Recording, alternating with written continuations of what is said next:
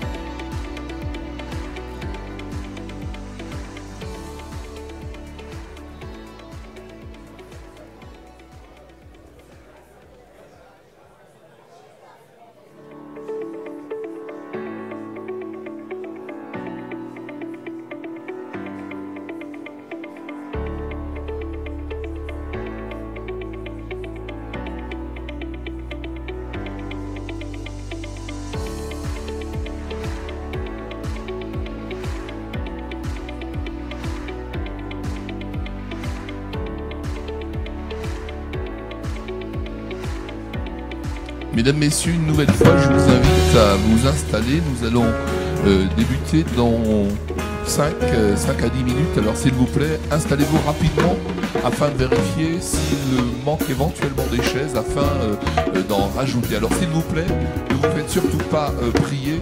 Installez-vous très très rapidement. Merci beaucoup.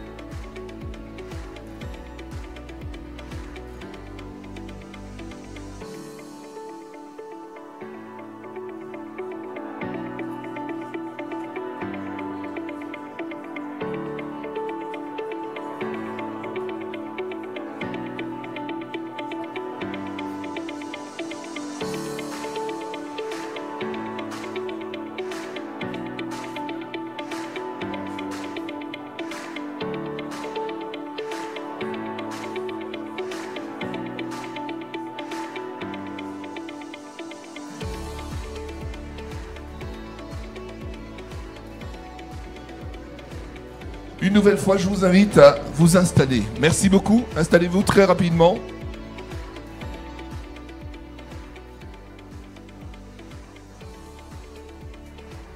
Merci de vous installer.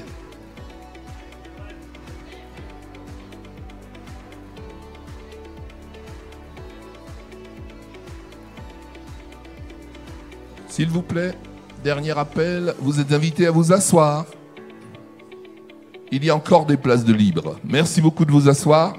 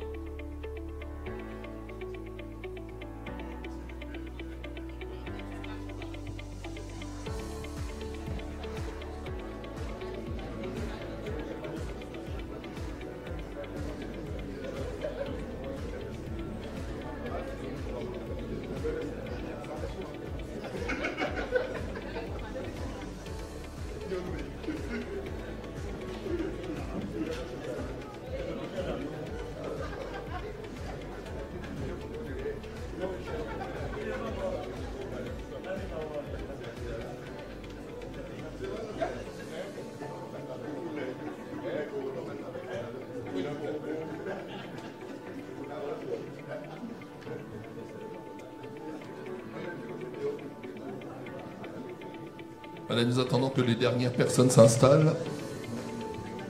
S'il vous plaît, allez-y rapidement. Merci beaucoup.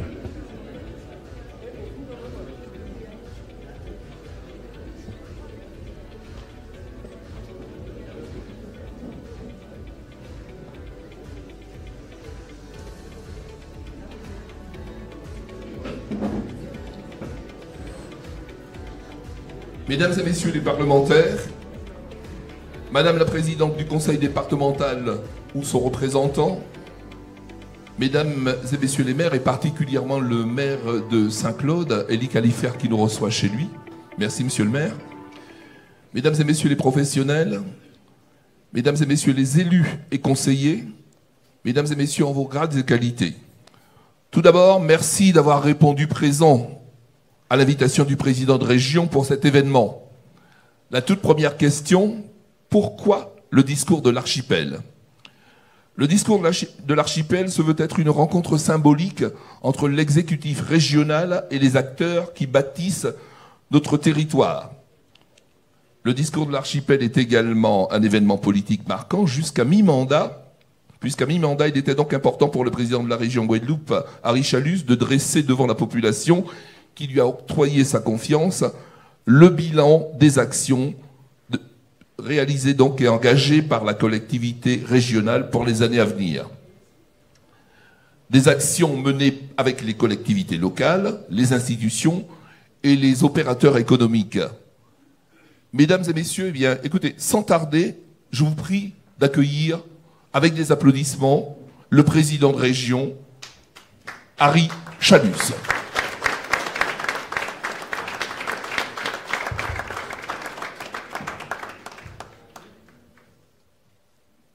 Mesdames, Messieurs, chers amis, Messieurs les élus, en vos grades et qualités, merci d'avoir répondu à notre invitation. Merci d'être avec nous aujourd'hui, ici, à l'hôtel Saint-Georges. Le discours de l'archipel se veut la manifestation de notre unité. L'unité et non uniformité. La pluralité des opinions est une richesse pour la Guadeloupe. Mais ce qui nous rassemble, ce n'est rien de moins que l'essentiel, c'est la Guadeloupe. Constatons notre convergence autour de la Guadeloupe. La Guadeloupe nous transcende, car elle est plus grande que chacun de nous. Ce discours de l'archipel, ce moment où l'exécutif régional s'entretient avec la Guadeloupe sur ses actions, ses orientations, sur les grandes questions partagées par toutes les composantes de ce riche peuple, nous l'avions proposé aux Guadeloupéens lors de la campagne électorale de 2015. Vous nous aviez confié la direction de notre Assemblée régionale. Ce fut un moment marquant de notre vie politique par le symbole même de cette victoire qui signait votre désir de changement. De notre côté, nous avions interprété ce succès comme une mission intangible. Le pays nous demande d'agir pour le transformer, ouvrir des perspectives nouvelles, redessiner son avenir.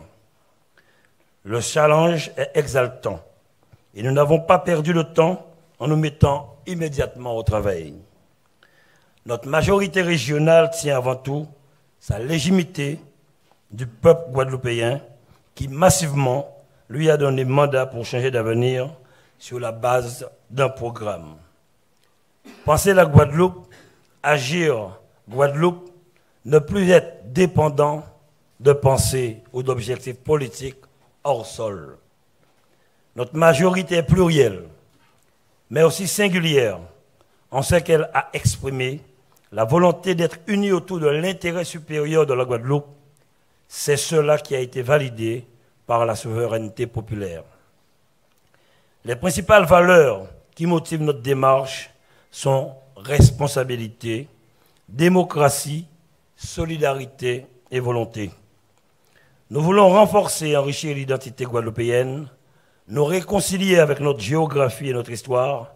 C'est comme cela que l'on s'ouvre aux autres avec l'humilité sereine des femmes et des hommes libres, sans soumission ni allégeance, simplement un partage responsable de l'intelligence guadeloupéenne. La situation de la Guadeloupe nous oblige, sur la méthode, le nous à remplacer le je. D'abord par pragmatisme. La Guadeloupe doit faire confiance à sa première richesse, les femmes et les hommes de notre archipel. Ils doivent être écoutés, car ils sont à même d'apporter leur analyse et leur vision pour le développement de notre territoire. Nos entrepreneurs, nos agriculteurs, nos chercheurs, Nos jeunes diplômés, tous sont experts dans leur champ de compétences et doivent être aussi consultés et entendus. Ensuite, pour plus d'efficience et de robustesse, de grandes politiques publiques. L'eau, où nous sommes tous ensemble engagés, la gestion des déchets, la transition écologique, le transport multimodal et j'en passe. Nous commençons à offrir des solutions pertinentes et durables parce qu'elles résultent d'une volonté commune. Nous sommes guadeloupéens. Ce n'est pas rien. Nous sommes les gardiens de l'héritage de Delgrès, dont les paroles pleinement conscientes s'adressaient à l'humanité tout entière et au nom de l'humanité tout entière. La Guadeloupe est un, peu, un puits fertile où les écrivains y ont puisé l'inspiration. Je pense à Saint-Jean-Perse, Sonny Rupert, Pépin, Niger, Condé, Pinot, Schwarzbart, Guy Tyrolien. C'est d'ailleurs pour témoigner de l'œuvre de ce dernier que nous avons voulu que l'année 2017 soit l'année Guy Tyrolien, marquant ainsi la commémoration du centenaire de la naissance de ce grand Guadeloupéen. C'est encore pour contribuer à la construction de notre mémoire collective qui s'est inscrit l'hommage en 2018 à Danny Bebel-Gisler, qui anima 30 ans durant la vie éducative et culturelle aux côtés du père Chérubin Céleste et des travailleurs agricoles. À considérer tous ces combats, Danny Bebel-Gisler incarne résolument l'engagement assumé en liant inescapablement son destin à l'affirmation de notre riche identité. Cette année, nous honorons Gertie Archimède. Le 26 avril 2019 a marqué le 110e anniversaire de la naissance de Gertie. Personnalité emblématique et visionnaire. Elle s'est battue pour démontrer une évidence mise en rude épreuve par des temps obscurs, la capacité des femmes à construire la Guadeloupe. L'exemple de nos aînés devrait nous conduire à avoir plus de confiance en nous-mêmes. Yoté poussé, nous disait-on.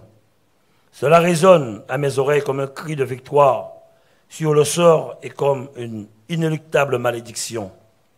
Construire sereinement la Guadeloupe, c'est pouvoir promouvoir les projets qui contribuent à restaurer l'équité territoriale, à rendre notre région attractive, à accroître la compétitivité de la Guadeloupe entière et à œuvrer à l'épanouissement de ses habitants. Durant ces trois années, nous nous sommes employés et engagés au profit des Guadeloupéens.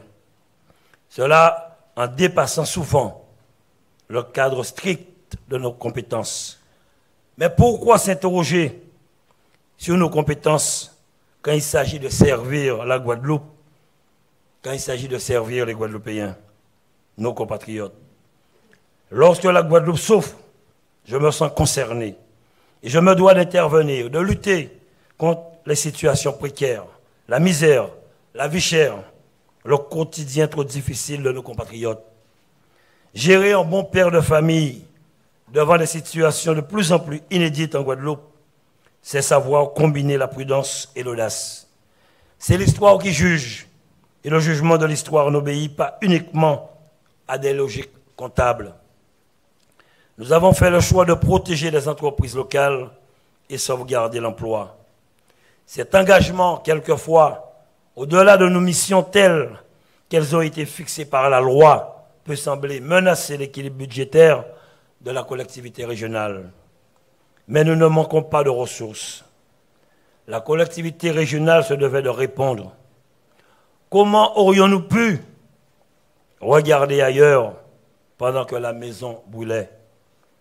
Laisser Capesterre de Marie-Galante et les îles du Sud dans leur marasme des sargasses. Laisser les entreprises licencier près de 60 personnes. C'est 500 000 euros que nous avons dû trouver. Évoquer les répartitions de compétences pour ne pas intervenir dans le dossier brûlant de l'eau.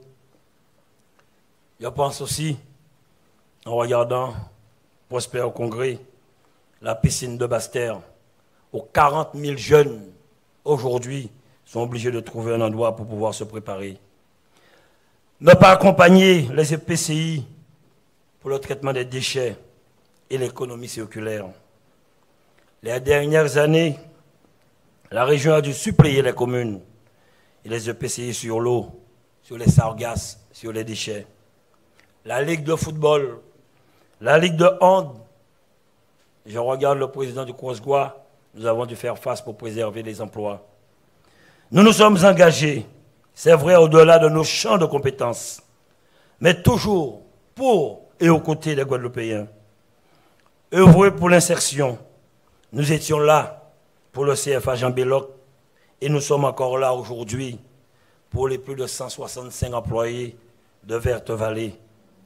Avec le département, chef de file sur cette question, nous devons intervenir ou bien laisser disparaître les entreprises d'insertion du pays. S'adapter aux nouvelles compétences transférées suite à la loi Notré et assumer notre rôle d'autorité de gestion des fonds européens. La région d'aujourd'hui n'est pas celle d'hier. Elle n'est pas encore celle de demain, mais elle y travaille. Il n'est pas nouveau de dire que nous évoluons dans un contexte budgétaire contraint qui touche autant l'État que toutes les collectivités territoriales. Comment donc ne pas tenir compte de la situation des communes? Tout le monde, cependant, s'accorde à dire que les pouvoirs publics doivent œuvrer à renouer les liens de confiance avec les citoyens. Ce n'est pas une chose aisée, je le sais. Le monde est en perpétuelle évolution et les difficultés semblent importantes, quelquefois même insurmontables. Faut-il se blottir dans la peur de telle ou telle échéance électorale et oublier les gens, oublier les communes, oublier les entreprises? Sans faire fi des difficultés, j'ai choisi de mettre l'accent sur les atouts du pays, car nos atouts sont véritables. Arrêtons de nous faire du mal. Arrêtons de nous flageller. Le respect de la liberté d'expression est sacré. Mais permettez-moi tout de même de regretter le penchant de certains pour une forme de Guadeloupe bashing. Les mauvaises nouvelles vont vite et sont relayées, commentées souvent à l'excès. Les bonnes nouvelles sont quant à elles bien vite relativisées et oubliées. Construire sereinement le pays, c'est renouer le fil du dialogue. Un dialogue franc, honnête, qui surmonte les a priori et surtout la peur.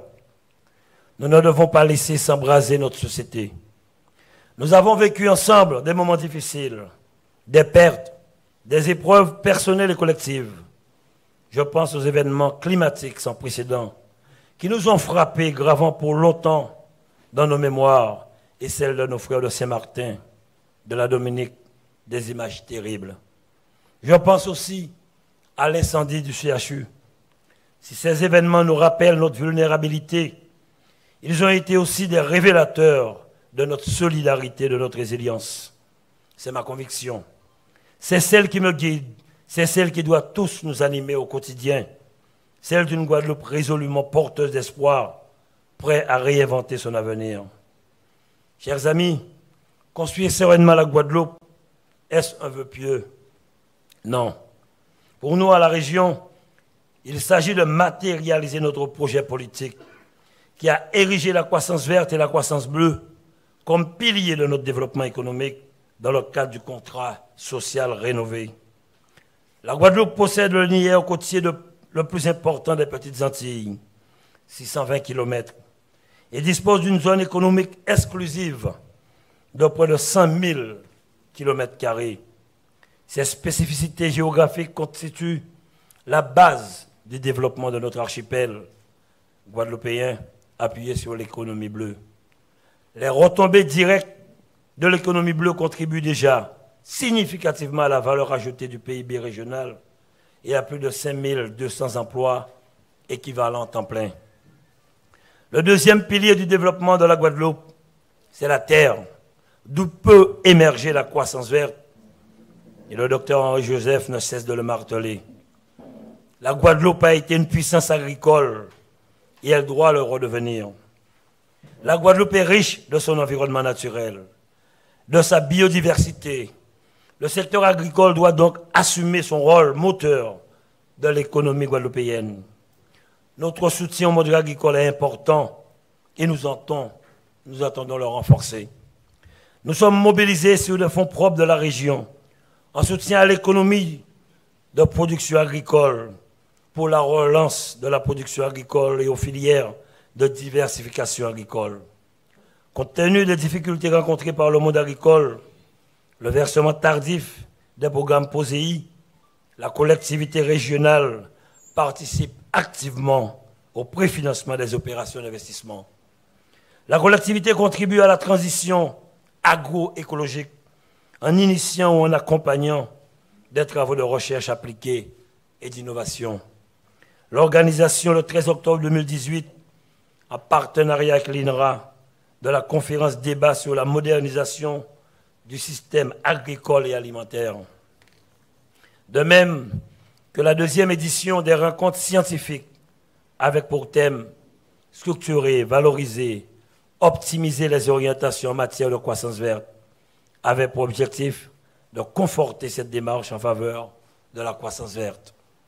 Vendredi dernier, nous avons participé à la pose de la première pierre de l'usine centrale dans la ville d'Anse-Bertrand. Le projet l'usine centrale est un projet structurant pour le développement de notre territoire avec le marché d'intérêt régional et bientôt à Basse-Terre, un petit centre d'agrotransformation. Le projet a été priorisé sur les fonds propres de la collectivité régionale et dans le cadre de la convention leader émanant du fonds FEADER. Il s'inscrit dans la stratégie régionale visant à promouvoir une agriculture compétitive et durable à travers le développement de la transformation de produits agricoles, l'offre aux agriculteurs de, nombreux, de nouveaux débouchés pour leurs produits et la consommation de produits locaux par la population. En effet, l'usine centrale, d'une surface de 1600 mètres carrés, sera une plateforme dédiée à la transformation des produits agricoles bruts vers des produits finis de première et deuxième gamme commerciale. Le projet l'usine centrale s'inscrit dans le triptyque rééquilibrage attractivité économie verte, mais surtout sur le fondement même de notre projet politique. Ce projet répond aux attentes de nos agriculteurs, de nos chercheurs, à l'instar du docteur Osier Lafontaine, directeur de l'INRA. Un grand jour pour nos petits-enfants pour les générations futures. Le plus beau projet pour la Guadeloupe de tout. Où est-ce qu'il est, Henri Joseph Je l'ai vu? Le plus beau projet pour la Guadeloupe de toute mon existence, pour citer le docteur Henri Joseph. Nous avons fait le choix de protéger notre tissu économique local. Je ne veux pas ici vous abreuver de chiffres mais chacun constate que les projets d'infrastructure sont sortis de terre, qu'une orientation économique est prise, qu'une méthode basée sur la concertation avec toutes les forces politiques, les institutions est en place. Lorsqu'en Guadeloupe, chacun joue sa partition sans arrière-pensée, l'espoir ne peut qu'éclairer notre route. La Guadeloupe affiche depuis deux ans un taux de croissance supérieur au national, on n'en parle pas assez, avec une inflation contenue. Cette croissance guadeloupéenne est d'autant plus remarquable qu'elle se distingue dans une conjoncture régionale mitigée en Martinique et en Guyane. Ces exemples récents, nous montrent que notre mobilisation commune façonne notre victoire. Valoriser nos atouts, notre potentiel maritime, notre potentiel végétal, donner une véritable impulsion aux acteurs pour un développement dynamique, compétitif du territoire en mesure de rivaliser avec une concurrence caribéenne. C'est cela qui est de concrétiser par un investissement soutenu en direction d'événements internationaux tels que la route du Rhum, le rallye des îles, qui ont drainé une clientèle internationale battant tous les records.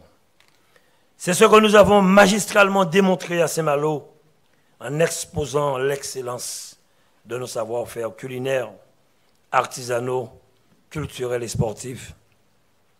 Avec la CCIG, avec son président, avec nos entreprises, nos partenaires, les artisans. Oui, chers amis, c'est une fierté quand on sait aujourd'hui que les Roms de Guadeloupe sont vendus dans plus de 400 grandes surfaces au niveau national. La modernisation de l'aéroport prévue dès cette année augure un avenir prometteur, notamment pour l'objectif que nous avons fixé en 2020, un million de touristes. Nous sommes confiants que notre objectif sera atteint dans les temps impartis. La modernisation de l'aéroport a été le premier projet du plan Juncker dans les Antilles françaises. La convention de prêt entre la Banque européenne d'investissement et la société aéroportuaire Guadeloupe-Paul Caraïbes a été signée en décembre 2018. Cela répond à notre objectif d'augmentation du nombre de visiteurs dans notre archipel. Je salue l'engagement du directoire de la société aéroportuaire, impulsé par le dynamisme de son directeur, M. Bièvre. C'est le premier succès d'une démarche inscrite dans notre programme politique et que nous souhaitons renforcer pour mettre ces nouveaux outils financiers à la disposition des secteurs prioritaires, numérique, transition et efficacité énergétique, transport durable, financement des PME. D'ailleurs, cette signature a été accompagnée le même jour de la signature d'une convention entre la Caisse régionale du Crédit agricole de Guadeloupe et de Martinique et la BEI, Banque européenne d'investissement, au profit du financement de nos entreprises. Le secteur touristique en plein essor demeure l'un des moteurs de notre économie. C'est le fruit du travail en coproduction avec le département et les EPCI, mais aussi avec nos partenaires du CTIG. C'est pour mener à bien cet objectif que la collectivité s'est fortement impliquée dans le soutien aux investissements de ce secteur. L'objectif indirect mais principal de cet accompagnement financier structurel est de créer de l'activité et de l'emploi sur l'ensemble du territoire en alimentant la croissance du secteur touristique, une croissance de 12% en moyenne chaque année pour les flux de visiteurs. Cette politique s'appuie sur la stratégie de développement durable pour cette industrie, c'est-à-dire d'une part la montée en gamme de tous les types d'hébergements et d'autre part le rééquilibrage du territoire en favorisant les projets installés dans des parties de l'archipel qui sont insuffisamment exploitées, malgré leur effort potentiel d'attractivité pour les visiteurs. Nos efforts d'investissement, soutenus depuis 2016, ont permis de favoriser la qualité des infrastructures d'accueil et de loisirs. Nous soutenons une activité touristique pérenne et rentable, absolument respectueusement de notre environnement, parce qu'il le faut le souligner, le revers du tourisme de masse coûte à de nombreux pays leur originalité et leur environnement. Symbole fort de cette impulsion, la réhabilitation de l'hôtel Saint-Georges, ici à Saint-Claude, donne un atout supplémentaire à cette belle région du sud d'Astère et permettra là aussi le retour des emplois perdus après la liquidation. C'est la mission que nous avons confiée au CTIG dans sa nouvelle forme juridique d'établissement public industriel et commercial, d'orchestrer les actions de promotion visant à augmenter le nombre de visiteurs et d'élargir le champ de leur origine, tout en renforçant les zones cibles en Europe, en Amérique du Nord et du Sud. La Guadeloupe a des atouts face à l'adversité, aux mauvaises conjonctures. Elle sait rebondir. Anticipant l'annonce de la Norvégienne de mettre fin à ses vols entre l'Amérique du Nord et la Guadeloupe, la région avait impulsé des négociations avec plusieurs compagnies aériennes pour assurer le maintien de notre accès à ce nouveau marché. Grâce à l'action concertée de la région, du CTIG, de l'aéroport, nous signerons un nouvel accord qui garantira dans la durée une liaison Pointe-à-Pitre-New York Aujourd'hui, de nouveaux visages commencent à incarner notre modèle, notre nouveau modèle économique. Nous ne pouvions rester indifférents aux difficultés rencontrées par la librairie Générale Jazor. Nous nous devions de préserver ce moteur de la culture guadeloupéenne. Et la solution est venue de notre jeunesse, notre jeunesse entreprenante.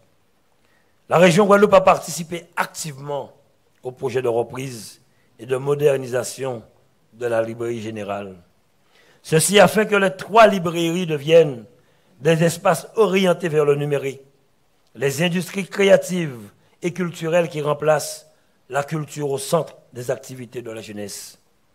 De sa responsabilité et son rôle en tant que chef de file du développement, du développement économique, mais également les priorités affichées envers la jeunesse et la culture, la région Guadeloupe a tenu à encourager très fortement, très vite et très tôt cette initiative.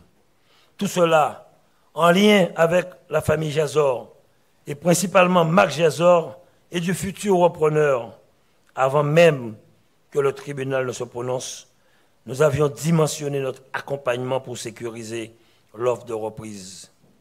J'ai eu à sensibiliser lors de son passage le ministre de la Culture, Franck Riester, au MACT concernant la librairie Jazor et surtout la place qu'elle occupe dans le cœur des Guadeloupéens.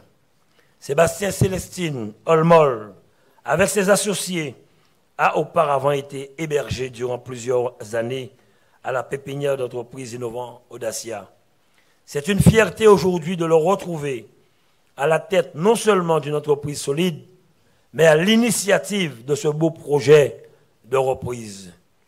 Ces résultats doivent nous encourager à aller encore plus loin et surtout plus vite dans l'accompagnement de nos entrepreneurs. La région Guadeloupe, en plus de son soutien direct aux entreprises Jazor et Olmol, a accordé à la SAS Caribbean Culture House, nouvelle librairie générale, une avance remboursable pour la mise en œuvre de son programme de reprise. Et notre plaisir aujourd'hui, c'est de voir que sept jeunes Guadeloupéens y travaillent sont entrés au pays, ce que j'appelle aujourd'hui le retour des cerveaux. La collectivité régionale continuera à apporter son appui technique et son accompagnement, avec une implication de techniciens régionaux que je souhaite encore plus forte. En effet, nous nous engageons aux côtés d'entreprises guadeloupéennes qui présentent un fort potentiel de croissance et de création d'emplois. Les contraintes financières que rencontrent nos entreprises nous obligent à plus d'audace et plus d'inventivité. Si nous voulons relancer le développement de notre territoire, c'est tout le sens du renforcement de l'offre de financement des entreprises par le lancement du prêt croissance très petites entreprises et du Fonds régional de garantie en partenariat avec la BPI. En matière d'innovation, la collectivité a mis en œuvre un certain nombre d'actions comme le dispositif IDEACT, l'appel à projet Innova, dont la deuxième édition a été lancée en février 2019, le chèque régional innovation ou encore l'obtention du, label Technopole Bayretis. Notre engagement régional porte ses fruits. Triacaz, la start-up guadeloupéenne, première entreprise signataire du prêt croissance TPE, région BPI, vient de décrocher le label national Green Tech Verte. C'est la seule entreprise ultramarine à être ainsi distinguée. Triacaz, lancé en 2016, a gravi les échelons à une vitesse foudroyante pour atteindre aujourd'hui les sommets. Le 3 juin à Paris, elle a décroché le label, une référence en termes d'innovation française qui sélectionne des start-up prometteuses au regard de leur ambition environnementale et de leur degré d'innovation. Une reconnaissance délivrée par François de Rugy, ministre de la Transition écologique et, solidaire. C'est un success story. C'est une success story guadeloupéenne. L'histoire retiendra que c'est grâce à un prêt croissance territoriale délivré par la région et la BPI que Claudie Lombion, fondatrice de Triacaz, a pu développer via son unité de recherche et de développement cette application mobile. Application qui, si tout se passe comme prévu, va largement dépasser le cadre de notre archipel. En effet, l'internationalisation des entreprises constitue un enjeu majeur et récurrent de croissance économique du territoire. Notre objectif est d'accroître le nombre d'entreprises guadeloupéennes exportatrices en renforçant leurs connaissances et compétences en matière de commerce international et en favorisant leur pénétration sur le marché extérieur. C'est dans ce sens que la mission export et internationalisation des entreprises a été mise en place au deuxième trimestre 2017 et positionnée au sein de la Direction générale adjointe du développement économique. La région a signé une convention cadre de partenariat avec Business France pour cela. Le 19 novembre 2018, à l'incubateur Station F à Paris, la Guadeloupéenne Cécile Théo fondatrice et présidente de Softbridge Technologies, jeune start-up guadeloupéenne, a été gratifiée du prix Innovation e-commerce à l'occasion de la quatrième édition de la soirée Innovation Outre-mer. De la pépinière d'entreprise innovante Audacia à hier, aujourd'hui à la station F à Paris, Softbridge Technologies réalise une belle progression et prouve une nouvelle fois tout le potentiel d'innovation des start-up locales. La région Guadeloupe est très satisfaite de son partenariat avec la structure Outre-mer Network, présidée par Daniel Hierso, qui garantit aux pépites ultramarines et singulièrement guadeloupéennes une meilleure visibilité ainsi que l'incubation à grande vitesse dans le plus grand incubateur européen, Station F. Tout ceci est de bon augure pour les autres start-up issus de la pépinière d'entreprise Audacia, dans le cadre de la préfiguration de la technopole Audacia Caraïbes au monde Bernard Abemao. Ce sont là quelques exemples de réussite. Nous pourrions saluer également la reconnaissance nationale des artisans Fabien Youyut, meilleur artisan de France 2019, ou encore Colette Chico de Bouquet Caraïbes, TOC française 2019.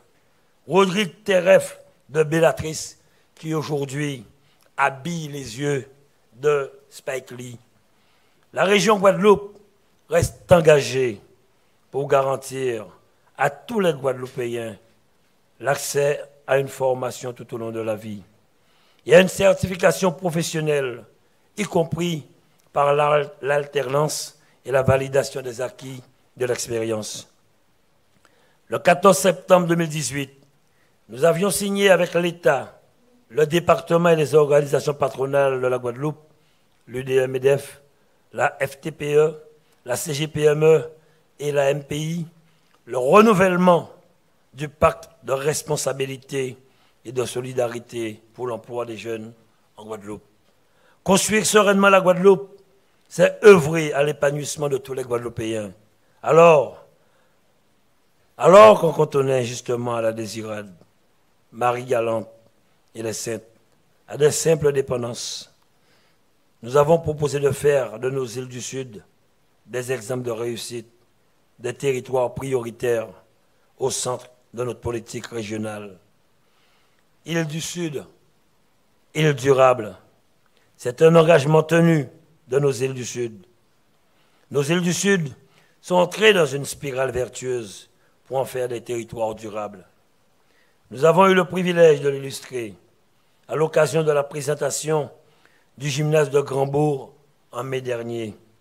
Cet équipement, longtemps attendu, répond à un réel besoin pour la pratique du sport à Marie-Galante et profitera aussi aux élèves du lycée Yacinthe Bastaro. En ce qui concerne le développement économique, je pense que notre action pour le développement de l'économie rurale avec la signature de la convention leader, avec l'agence de services de paiement ASP et la communauté de communes de Marie-Galante pour favoriser un développement local et équilibré, en cohérence toujours avec les enjeux du territoire marie-galantais. La filière de la canne et de l'industrie, le sucre, du rhum connaissent des difficultés résultant de la vétusté des équipements de l'usine. Conformément à la délibération prise le 20 février 2017, fixant les modalités de soutien à l'usine sucrière de Marie-Galante, nous avons encore renouvelé l'engagement de la région Guadeloupe pour la pérennisation de l'activité de la SA Succory et Romerie de Marie-Galante. Notre engagement s'est encore illustré à Folens avec l'inauguration du chantier de construction navale Formaga par Mathieu Forbin que j'ai vu dans la salle, je crois qu'il est là. Et je tiens à te rassurer que la région sera à tes côtés pour ce développement et pour aussi créer des emplois. C'est un projet fort dont je suis fier. Il prouve là encore que nous avions vu juste en faisant du développement de la croissance bleue un axe fort de notre mandat régional. Je pense aussi à la mise au service du scanner de l'hôpital de Marie-Galante, qui concrétise là aussi le rééquilibrage de notre archipel. Notre bilan en matière d'énergie est loué par tous. La Guadeloupe est un archipel d'énergie fermement engagé sur une trajectoire vertueuse vers l'autonomie énergétique. Et je salue le travail de Margui Cellini.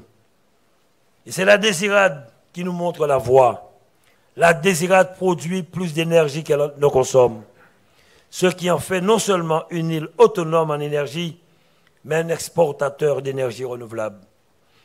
L'archipel des Saintes défend avec acuité à travers la valorisation et la protection de son environnement, de sites naturels et de son riche patrimoine naturel. Et je vois le regard du maire de Terre de Bas. Terre de Haut, on ne l'a pas encore assez martelé. Troisième village préféré des Français. Avec Terre de Bas, l'archipel des Saintes est l'exemple même des territoires qui ont su combiner développement touristique, authenticité et douceur de vivre. Tout cela démontre le savoir-faire de nos territoires, de nos cadres territoriaux et de nos entreprises. L'expertise guadeloupéenne n'a pas à rougir face à qui que ce soit. Avec la loi égalité et citoyenneté du 27 janvier 2017, la région est chef de file de la coordination politique territoriale pour la jeunesse.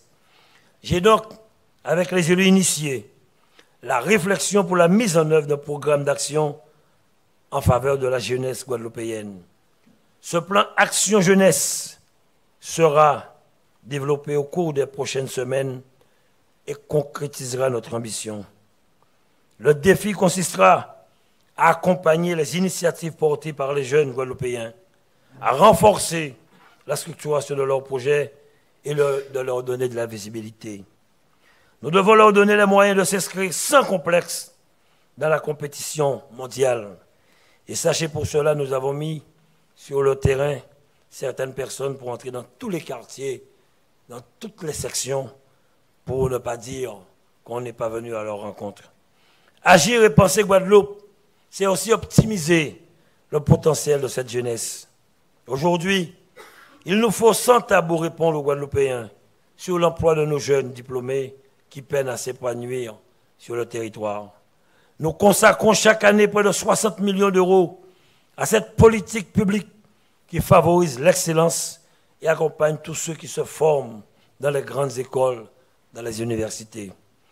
Certains, trop nombreux, n'arrivent pas à s'intégrer dans le secteur marchand guadeloupéen et sont obligés de quitter notre territoire. J'ai eu à l'annoncer lors du congrès. Je ne peux me contenter du constat d'un déficit de recrutement qui rend difficile l'insertion de nos jeunes ici en Guadeloupe. C'est d'ailleurs fort de ces mêmes constats que la Nouvelle-Calédonie a fait reconnaître par la Constitution le principe de préférence locale pour l'emploi. Nous proposerons dans le cadre du Congrès une initiative qui aille dans le sens des dispositions prise pour la Nouvelle-Calédonie.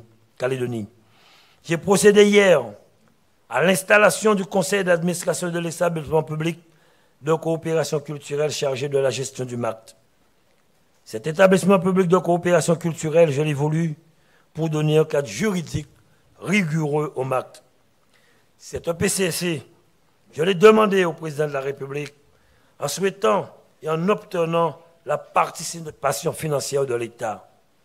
Avec cet établissement, nous disposons d'une tête de réseau associant les principaux acteurs du territoire à la mise en œuvre d'une stratégie mémorielle commune.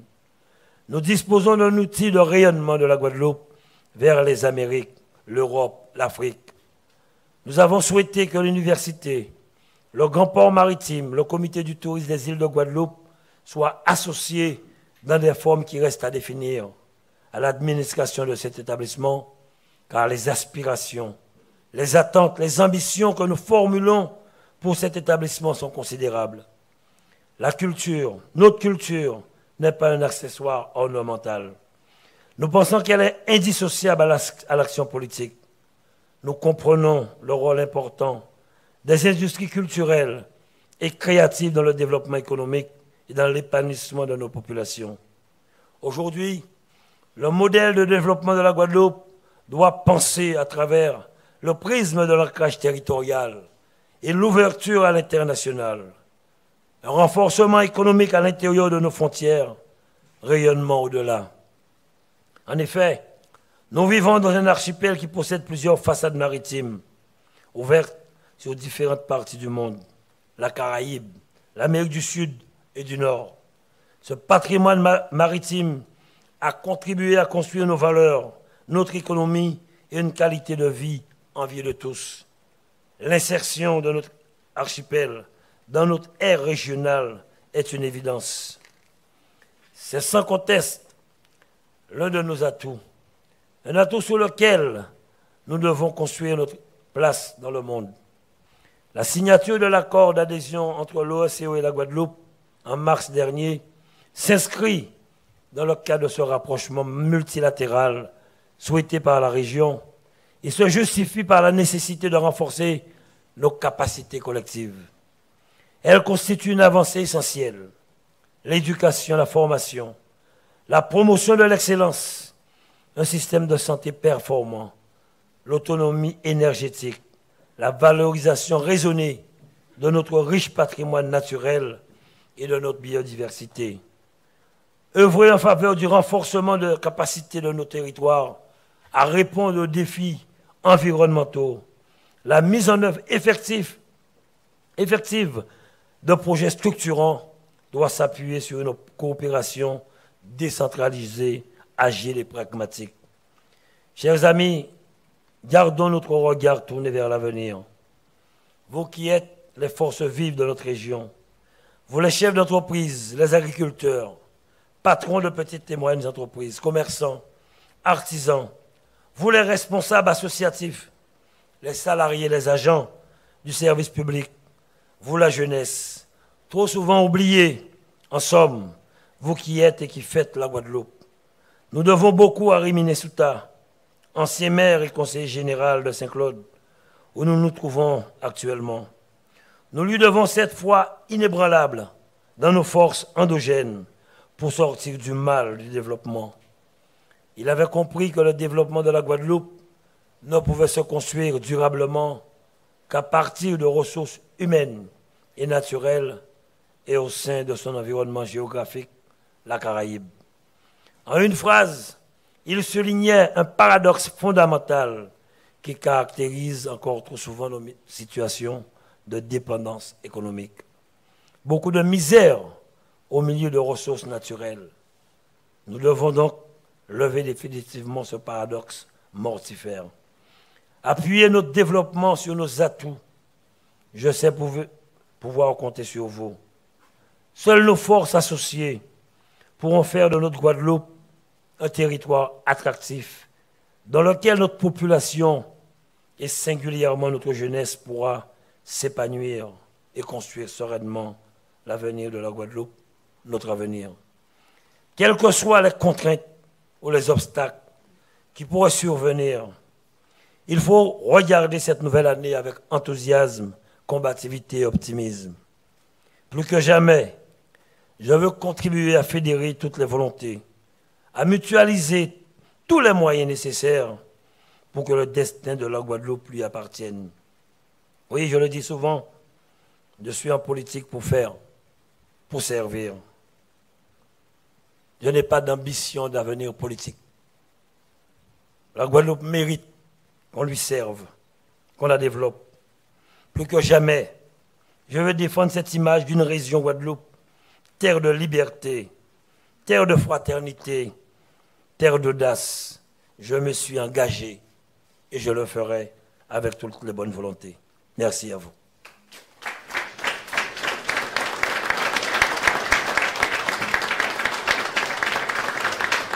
Merci au président de région. Alors là, je vais m'adresser donc euh, aux médias. Nous allons euh, passer à la partie euh, questions-réponses. Alors j'inviterai en tout cas à, chaque, à chaque personne, à chaque journaliste, bien qu'il se présente, et il présente également son, son, média. Alors nous allons commencer par... Oui, ZCL, Canal 10 et CCL. Alors, la question est, très simple euh, en écoutant euh, ce discours, le bilan et de perspective. Alors, je, souhaite savoir combien de mandats il faudra pour pouvoir effectuer tout ça? Vous savez, en politique, il est clair. C'est clair que le législateur, pour les municipales, pour les parlementaires, pour les collectivités, ont décidé un certain nombre d'années. Moi, je pense que on ne peut pas parler de mandat. On peut parler d'équipe qui travaille, car je suis président de région, demain je peux mourir. Mais il faut que l'équipe continue. L'équipe décidera de ne pas continuer. L'équipe qui viendra devra continuer à travailler. Développer une région comme la Guadeloupe, il n'y a pas de temps pour cela. C'est tous les jours qu'on doit travailler. Je le répète souvent, je le martèle souvent. En politique, on doit commencer à travailler le premier jour jusqu'au jour où on part. Car si vous venez en politique, c'est pour servir une population. On ne parle pas de mandat. Si vous n'êtes pas bon, il faut vous virer. Ça, c'est clair. Mais j'estime que quand vous travaillez, quand il y a de grands chantiers, aujourd'hui, l'Amérique a une croissance de 3,2%. Obama fait deux mandats, il a lancé certaines choses. Le président actuel continue. Mais on ne peut pas parler de temps. Je ne pense pas qu'on peut parler de temps. Mais sachez très bien, Harry Chalus le dit, à 65 ans, je ne serai pas là. Merci, M. Dandronis, pour votre question. Oui, Jean-Claude Roth, de Progrès Social, justement, puisque vous parlez de, de bilan de, de mi-mandat, est-ce que vous avez mis en place des procédures d'évaluation euh, des actions que vous menez? Parce que vous donnez des, tout un, catalogue euh, d'actions qui ont été entreprises par rapport au programme que vous aviez annoncé, mais comment vous les évaluez et euh, euh, comment vous faites savoir à la population l'évaluation que vous en faites? L'évaluation, quand même, sur notre programme, il est clair, c'est vrai, vous l'aviez dit. Nous avons sorti une brochure, nous aurons d'autres, nous aurons le journal de, la région hein, pour essayer de toucher la population. Mais c'est la communication. Et comme je le disais, Trop souvent, on martèle ce qui est néfaste au lieu de parler de ce qui marche. Souvent, on entend dire que nous avons des fuites de cerveau en Guadeloupe. Il est clair que qu'il y a un travail à faire depuis le collège pour expliquer à nos jeunes quels sont les débouchés qui existent en Guadeloupe. Ça ne se fait pas, le rôle d'un conseiller pédagogique, je pense. Mais quand je vois, par exemple, à la nouvelle librairie générale, sept jeunes qui travaillaient au niveau de l'Hexagone dans des entreprises vraiment très bien. Je me rappelle du directeur financier de Disney qui a quitté pour venir donner un coup de main à Célestine et d'autres. Sept jeunes Guadeloupéens, ingénieurs qui sont rentrés en Guadeloupe. Ce sont des actions comme cela qu'on doit marteler. Et si l'usine centrale, nous en parlons euh, euh, euh, la semaine dernière, de gros projets innovants la semaine prochaine. C'est à Pointe-Noire où nous allons euh, poser la première pierre de la déchetterie de l'école. Moi, je pense que, je l'avais dit, j'ai entendu dernièrement euh, une réponse de journaliste. J'ai été pigiste. Je connais ce que c'est. J'ai été pigiste pendant très longtemps. Euh, dans trois, en commençant par Record, consultant RCI et France Antilles. Donc je sais. Mais je dis, à un certain moment, il faut que nous sachions vraiment valoriser notre potentiel, dire les choses. Et souvent, je le dis, quand je vois dernièrement dans ces gymnases, il y avait près de 2000 familles, des jeunes qui dansaient avec des cerceaux. Je, je n'envoie la pièce sur personne, mais aucune presse pour montrer que la jeunesse fait cela. Nous avons beaucoup de champions en matière de gymnastique en Guadeloupe qu'on ne connaît pas. Nous avons Anita Blas et plusieurs jeunes qui viennent d'être vice-championnes d'Europe en escrime. Nous avons Keno qui est championne du monde en athlétisme. On n'en a pas entendu parler. Mais ce sont des jeunes que la région accompagne. Donc, moi, je pense que de notre côté, nous avons notre travail à faire de notre service communication. Mais ce qui est important pour nous, c'est vraiment que nous puissions aussi, euh, par les médias, valoriser notre patrimoine. Car je suis président de région, j'ai un travail à faire pour développer la Guadeloupe, mais vous aussi, vous êtes responsable du développement de la Guadeloupe. Car, vous faites je vais vous prendre un exemple simple. Je suis à Paris dans mon hôtel un soir avec euh, David Montout qui est un adjoint, et je vois dans la télé une publicité partez, allez visiter de belles plages, de l'environnement magnifique. Alors je dis à David Montout, mais ça va franchir là. Nous n'y ça à nous. Nous n'y ça à nous. Et quand la publicité est finie, qu'est-ce qu'on dit? Allez en Guadeloupe au moule. Ça m'a fait plaisir. N'oubliez jamais cela. Donc, vous faites quelque chose de bien, mais vous allez attirer des touristes vous allez nous encourager, même aussi des entreprises qui veulent euh, euh, investir. Mais quand je vois que dès qu'il y a un problème, la presse internationale vient en Guadeloupe, c'est triste. La presse internationale ne parle jamais de la Guadeloupe quand il y a de bonnes choses, quand il y a de belles choses. Quand nous avons des jeunes, comment il s'appelle le jeune dans l'équipe de France Lemar, c'est un Guadeloupéen.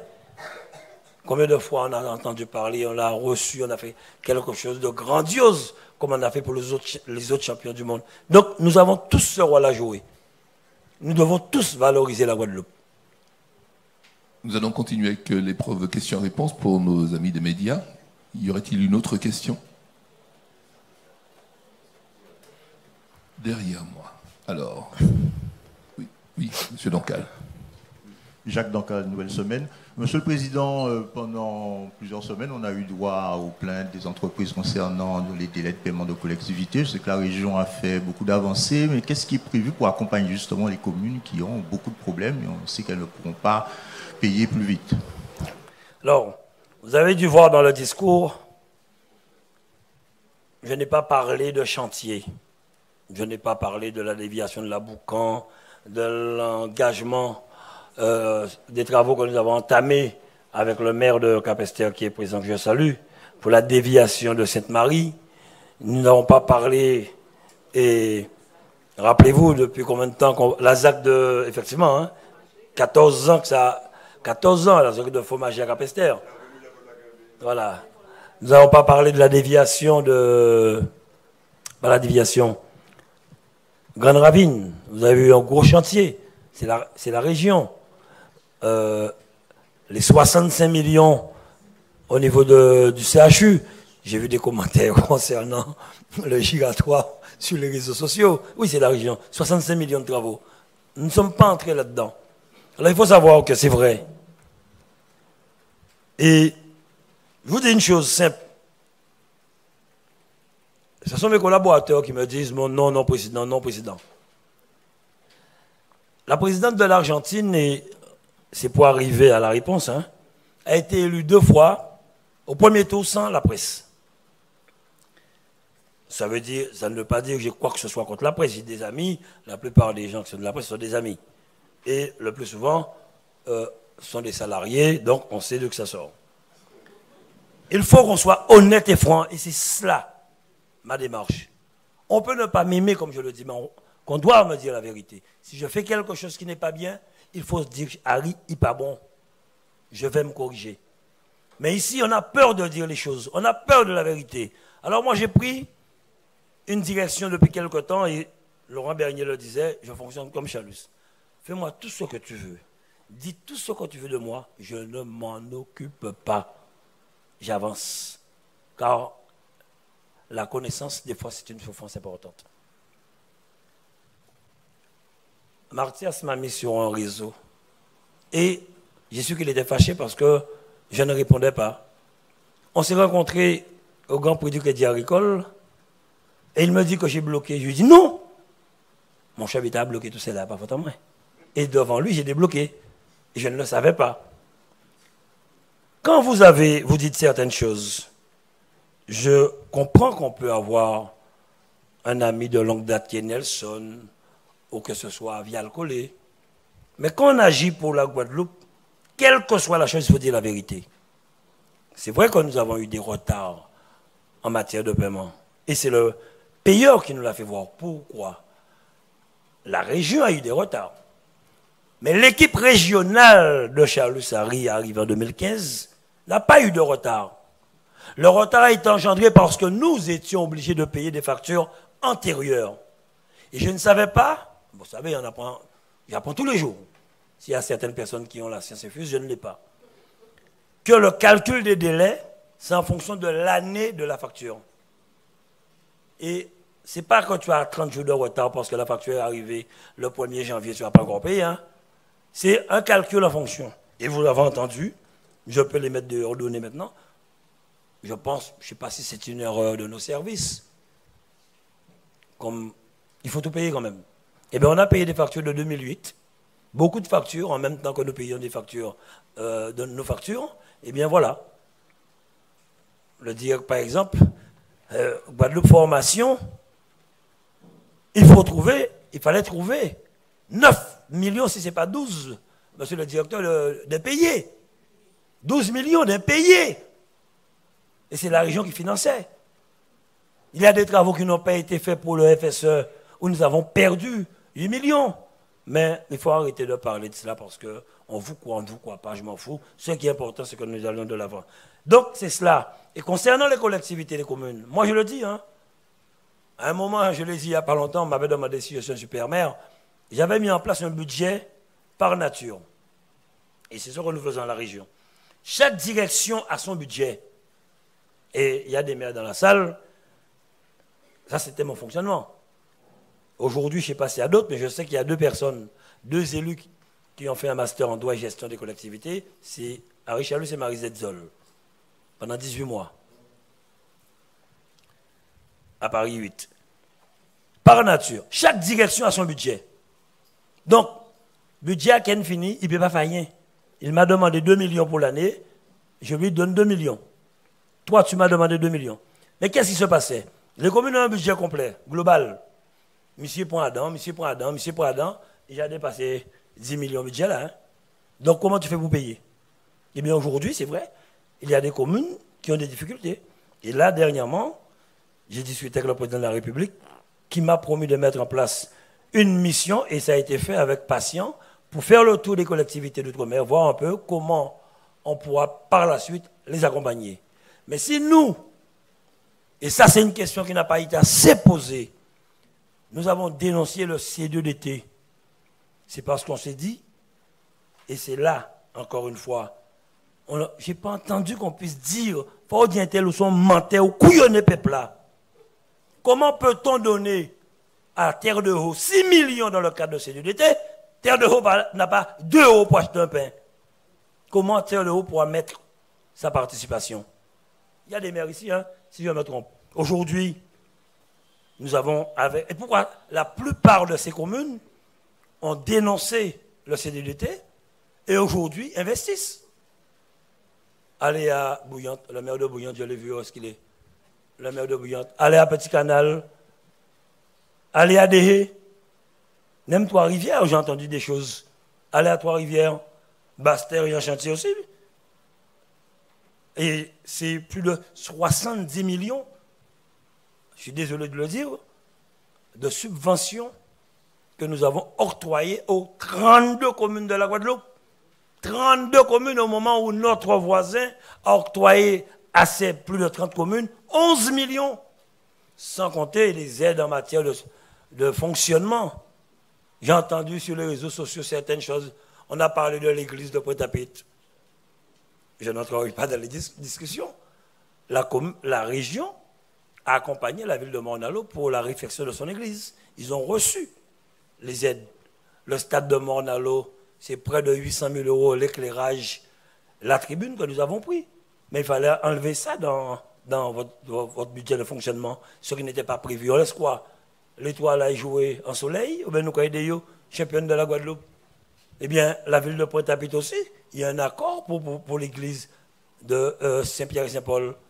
Mais les dossiers ne sont pas arrivés. Toutes les communes qui ont pris leur délibération ont reçu les aides de la région et ça avance très bien, très très très bien.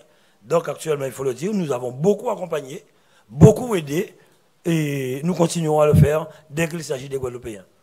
Nous avons d'autres questions. Euh, oui, alors, euh, une question C'est Oui, bonsoir. Euh, Carole Clotaire. Rapprochez micro. Carole Clotaire Fransanti.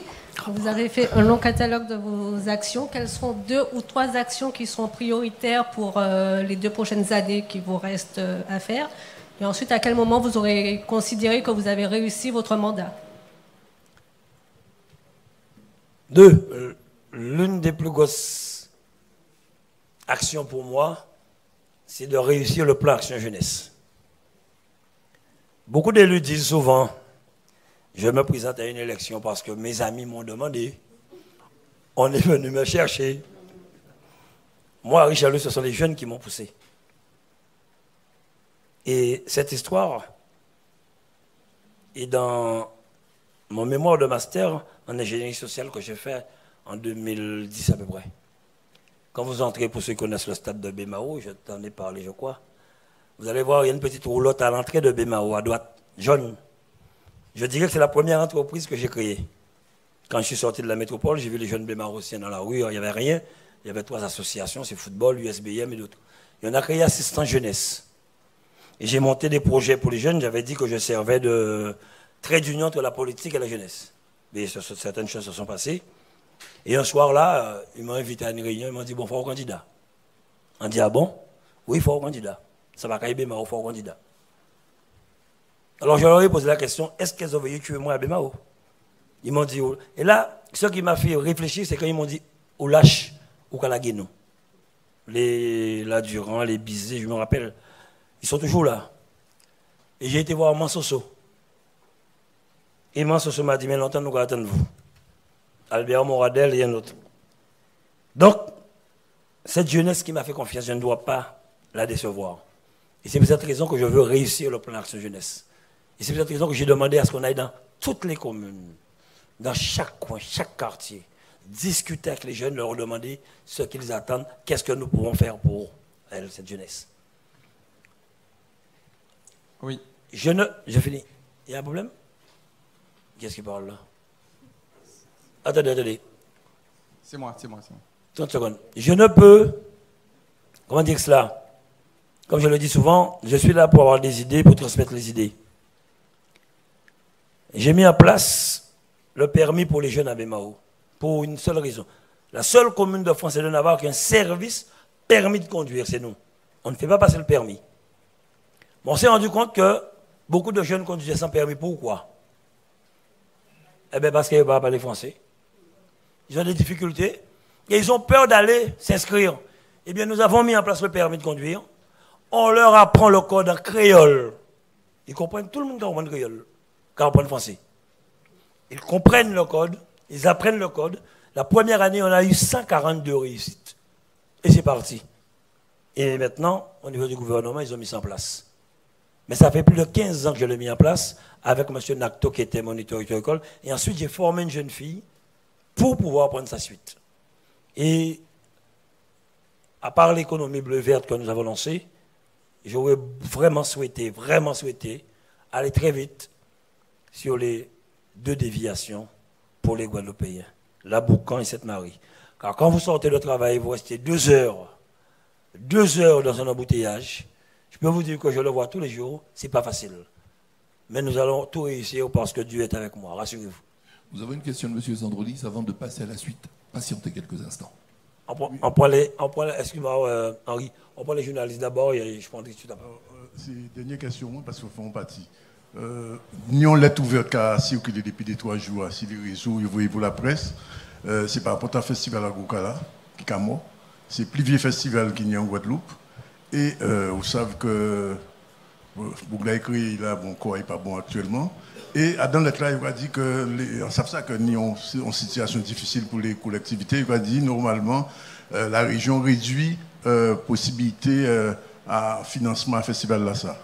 Donc euh, côté long mort, mais est-ce que festival là mort aussi? Si enfin, on dit ça, non, c'est pas pourri, non, ça c'est oui. J'ai dit côté long mort, le festival là mort. Alors, puisque en cas j'ai mis deux ans, un festival là, vous-même t'avez dit qu'ils font un musée à Goka. Euh, quand après une semaine passée, bon, en Martinique, ils font un musée à Biguine, à Saint-Pierre. Euh, si OTP, peut-être même font un musée à Gouka, à Martinique aussi. Donc, euh, question à poser, qui gens euh, la région, qui accompagnent les entreprises, on dit ça dans le discours, mais euh, euh, quoi parler, on lit ça, quoi que des industries créatives, culturelles créatives, et sont bien qui, apparemment, ils sont bien qui a fonctionné effectivement, puisque vous voyez qu'ils ont musique en nous. mais je vais te répondre là-dessus simplement. Oui. C'est ça la question là Non, c'est une bonne chose.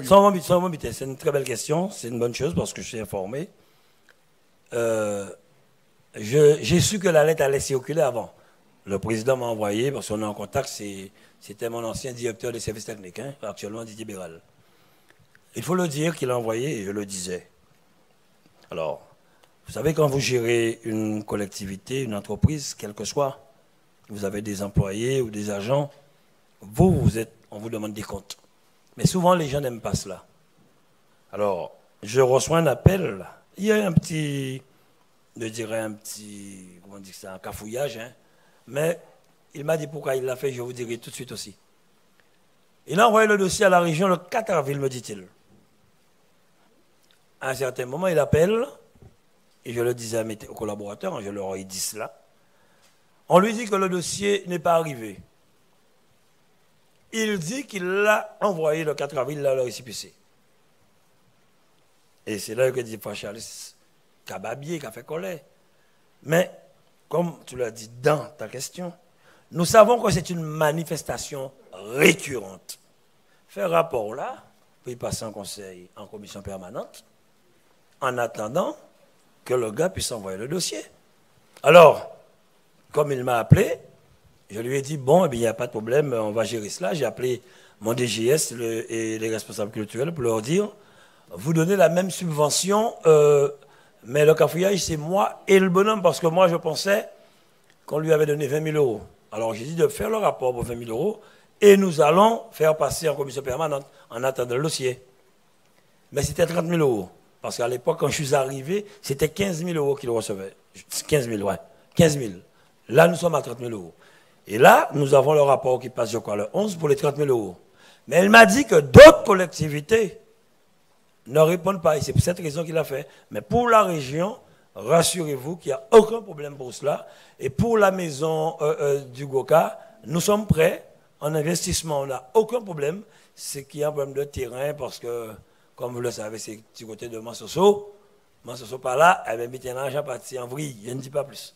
Mais nous sommes prêts là-dessus. Nous avons une question de M. Moy d'Alizé TV. Nous aurons ensuite ah, Daniel Martias. Et ensuite, nous passerons... A, non, non, non, non, il avait le, laisse le micro là. Il l'avait déjà, on passera à Moïse après. bon, alors d'accord. Voici les Moïse. Voici les Moïse. Monsieur Moïse est ici. Henri, vas-y, Henri, après, pour Moïse. Oui, euh, Monsieur le Président. Je vous ai écouté avec beaucoup d'attention, donc euh, j'apprécie beaucoup votre discours. Mais il faut aller plus loin. Il faut aller plus loin parce que j'ai été auditionné au Sénat le mois dernier. Et j'ai fait une proposition donc, euh, devant les sénateurs, il y avait les parlementaires des DOM hein, qui étaient présents. Il fait une proposition, c'est de transformer ce pays Guadeloupe en un oasis planétaire. Alors pourquoi j'ai fait cette proposition et qui va tout à fait dans le sens que vous avez dit dans votre discours, et votre discours n'aura de sens que si on devient un oasis planétaire. Qu'est-ce que c'est qu'un oasis planétaire? C'est un lieu, en fait, où on peut manger son poisson sans se poser de questions. C'est un lieu où on peut boire son eau sans se poser de questions parce que la région et le département, vous êtes en train de faire un très gros travail. Je vous félicite pour que l'eau arrive dans le robinet des Guadeloupéens. Mais si l'eau est bourrée de pesticides et d'herbicides ou, d'autres produits euh, toxiques, à quoi ça sert que ça arrive dans le robinet des Guadeloupéens sans problème? Par contre, ce que j'ai demandé au sénateur et ce que vous, il faut user de votre titre de président de région, c'est de faire voter une loi interdisant sur ce territoire guadeloupéen toute importation de pesticides et d'herbicides sur ce territoire. On n'en a pas besoin. Pour une raison très simple. Le parc national de Guadeloupe vient d'être labellisé comme étant dans le top 10 des forêts les mieux gérées de la planète. Je n'ai jamais vu un seul homme mettre un pesticide, un herbicide aux mamelles. Et c'est la plus belle forêt dans le top 10 des plus belles forêts de la planète. De la Jamaïque jusqu'à Trinidad, la Guadeloupe est zone de réserve de biosphère mondiale. De la Jamaïque jusqu'à Trinidad, la seule zone de réserve de biosphère mondiale, c'est euh, euh, notre forêt. Là où je veux venir avec vous, c'est que vous dites qu'il faut préserver la biodiversité et développer l'économie verte. C'est très joli. Mais encore faut-il qu'on ne puisse pas tuer l'herbe. Parce que si vous tuez l'herbe avec un herbicide, comment voulez-vous qu'on puisse valoriser cette herbe pour faire en fait des produits du terroir, etc. Donc c'est facile parce qu'il n'y a aucune industrie guadeloupéenne qui fabrique du chlordécone. Il n'y a aucune entreprise guadeloupéenne qui fabrique du glyphosate. Il n'y a aucune euh, entreprise guadeloupéenne qui fabrique du banol. On n'en a pas besoin. Ce qu'il faut pour ce pays, ce que je propose, c'est de faire de ce pays donc une nouvelle économie que j'appelle de mes voeux, qui est l'économie symbiotique. Oikos nomos sum bios. Ça vient du grec, le mot économie vient du grec oikos qui veut dire maison, nomos veut dire gérer, gérer la maison Guadeloupe, il faut le faire sum bios. Sum veut dire avec et bios veut dire vie. Avec la vie, c'est possible. Nous le faisons depuis 15 ans à Phytobocase. On n'a pas utilisé une goutte de pesticide, une goutte d'herbicide, une goutte d'engrais. Et si vous arrivez à faire ça, on est sauvé. Parce qu'il y a 528 ans, 528 ans, écoutez-moi bien, il y a 528 ans, Christophe Colomb débarquait en Guadeloupe et les Caraïbes vivaient en harmonie, ils n'utilisaient aucun produit. Et là, en l'espace seulement de 20 ans, de 1972 à 1993, on a condamné la Guadeloupe pour 23 générations, 574 ans, pour que le, chlordécone puisse disparaître de notre territoire. Donc il suffit que demain matin, vous interdisez toute importation de pesticides et herbicides, on est sauvé. Merci. Euh... Tu sais, ce n'est pas l'État français qui prendra cette décision. J'ai vu beaucoup d'auditions au niveau de l'Assemblée nationale, du Sénat, il n'y a pas de suite. Comme je, l'ai toujours dit en Guadeloupe, et je le répète, c'est une volonté guadeloupéenne. Ensemble. Le problème de l'eau, on aurait dû le régler ensemble. Il faut dire la vérité. Charles dit n'importe quoi. Je suis quelqu'un de bien aujourd'hui, je le dis tous les jours. Je suis là pour servir. Si on me dit, Charles, rentre chez toi demain, je rentre. J'ai beaucoup de choses à faire. Attends, euh, il m'a posé une... Non, non, il m'a posé une question. Il y a un minimum de respect quand même. Il m'a posé une question, je dois le répondre, on viendra le voir après. On le verra après. Il y a un minimum de respect. Mais voilà encore, mais nous. Alors pour te dire,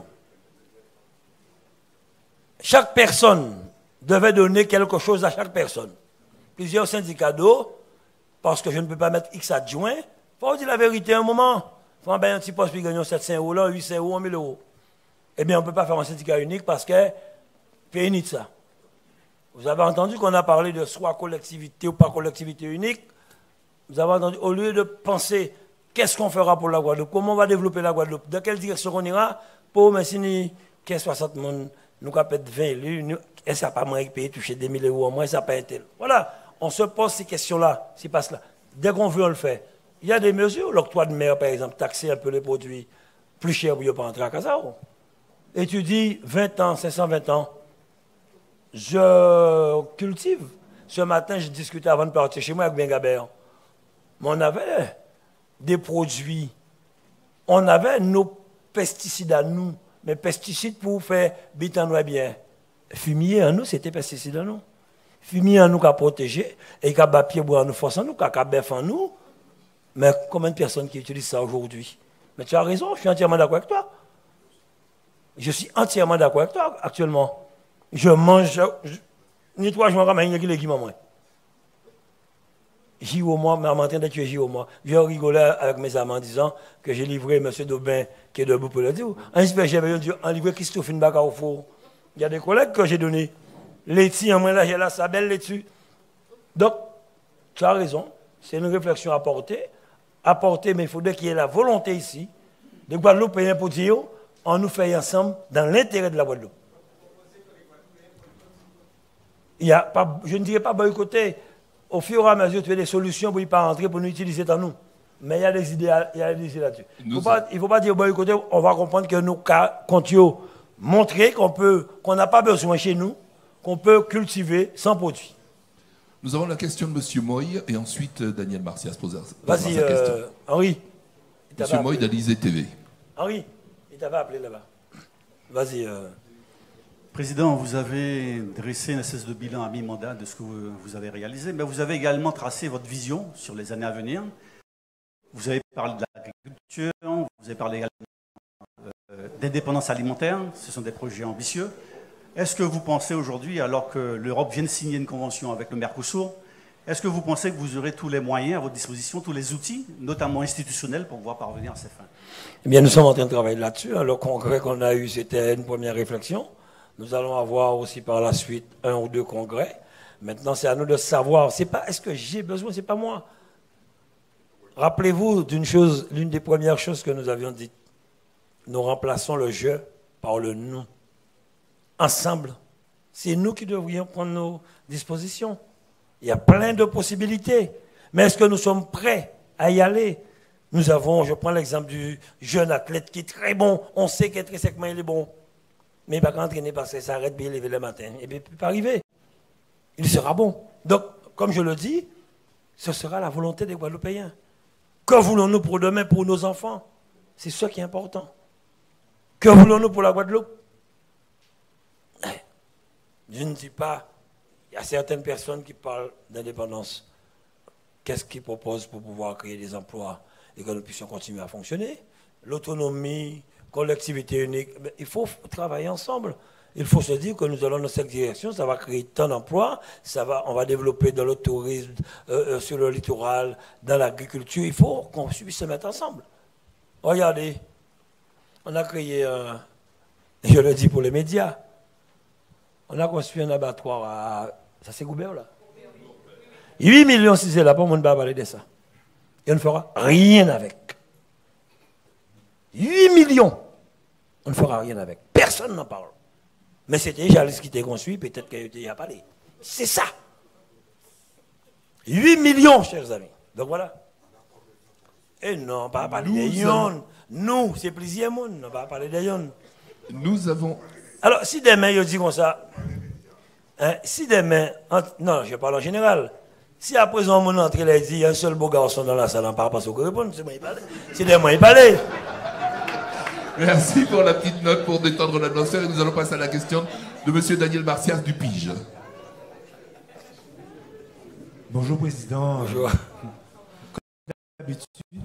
Comme vous avez l'habitude, on vous connaît très, euh, très cash, très offensif. Vous ne savez pas faire semblant. C'est ce que vous m'avez dit. Ah, toujours. Et c'est ce qu'on constate encore aujourd'hui. Par contre, moi, je voudrais essayer de comprendre euh, au travers de certains mots-clés que vous avez euh, souvent euh, précisé, l'expertise guadeloupéenne, on n'a pas rouge des autres, agir, penser guadeloupéenne,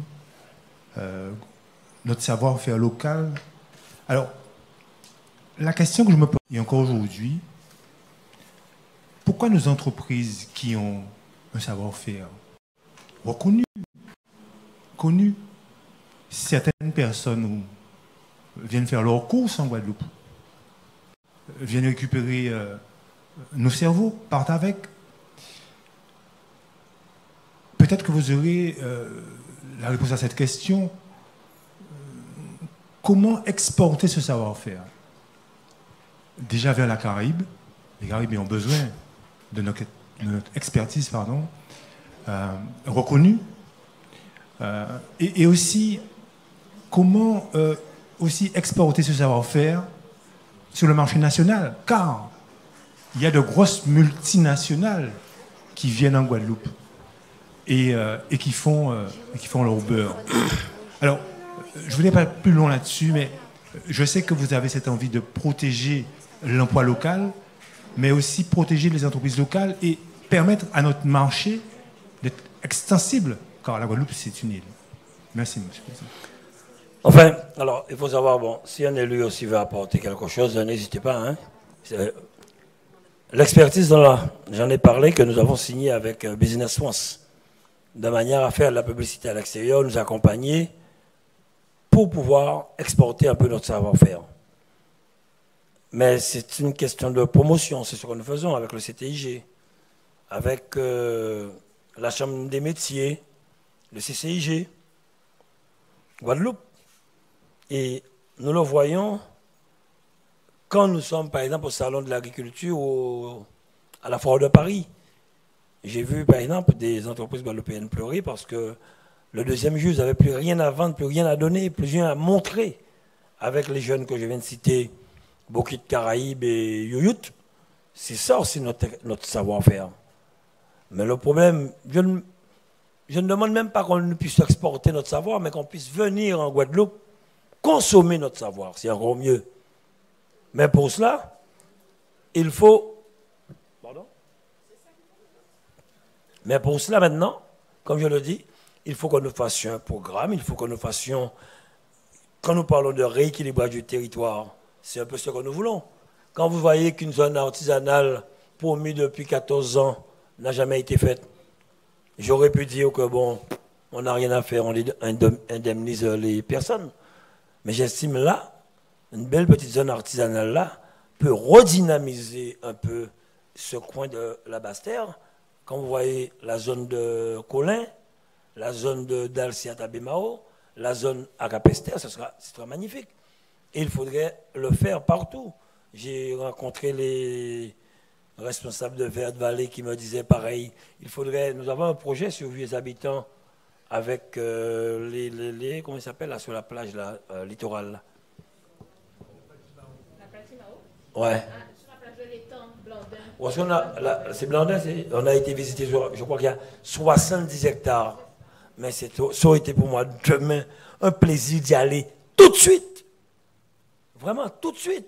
Si on arrive à faire ce projet-là, je vous le dis franchement, ce n'est pas des millions de touristes. Euh, tu étais là, je crois qu'on avait été, non? Ce n'est pas des millions de touristes, nous, Kenyans, en Guadeloupe. En millions, ce n'est pas ça, nous, Kenyans. Ils paquet. Hier soir, avant-hier soir, j'étais en train de regarder, mine de rien, ça va peut-être faire rire. C'est simple. Je me dis, pourquoi on a passé en Guadeloupe? J'ai réfléchi. Camping, camping paradis. C'est ça. Pourquoi on n'a pas un petit lieu comme ça avec une trentaine de bungalows, avec des jeux pour enfants où les gens viennent en vacances Et le soir, des animations? Mais exactement comme ça en plein air. On a des lieux comme ça en Guadeloupe. Donc je le dis. Donc on a